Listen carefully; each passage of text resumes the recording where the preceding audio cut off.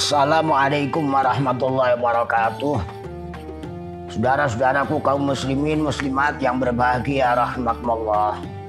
Alhamdulillah mari kita bersyukur pertanda doa kita dijabah oleh Allah taala pada saat kita berdoa pada bulan Rajab Allahumma barik lana fi Rajab wa Sya'ban wa ballighna Ramadan. Sekarang sudah detik-detik masuk bulan Ramadan. Mari kita sambut dengan bergembira dengan senang hati, berkepala dingin, dengan kesiapan mental untuk memasuki bulan Ramadan. Semoga kita menjadi hamba Allah yang bertakwa sesuai firman Allah taala Ya ayyuhalladzina amanu kutiba alaikumus syiyamu kama kutiba alal ladzina min qablikum la'allakum tattaquna ayyaman ma'dudat. Puasa untuk membentuk manusia yang selalu bertakwa. Allah Ta'ala memberi wasiat orang-orang dahulu dan orang-orang akhir.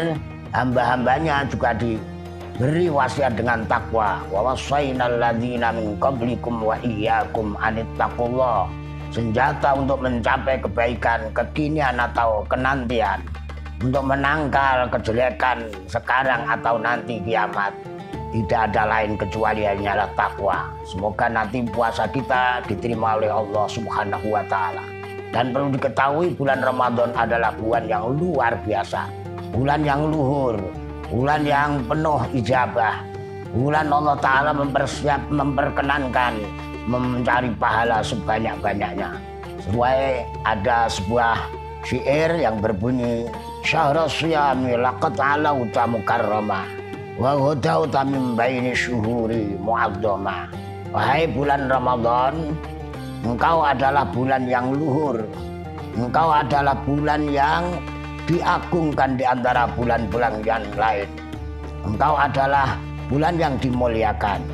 Ya saimi Ramadana hadza syahrukum fihi abahakumul muhaiminu magnama. Alangkah beruntung, alangkah berbahagia orang yang berjumpa dengan bulan Ramadan bisa taat kepada Tuhannya, mendekat kepada Tuhannya dan menjauhi keharaman-keharaman atau larangan-larangannya.